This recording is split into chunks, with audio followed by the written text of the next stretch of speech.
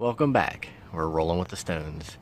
As you can see, our newest addition here is a LED light. And it's so bright that it's actually screwing with the camera there. And it's motion sensored. And it's also solar powered. If you can see the solar panel on the top of it. Let me cover up the light. On the top, there's the solar panel. And then right here between my fingers is the sensor. And so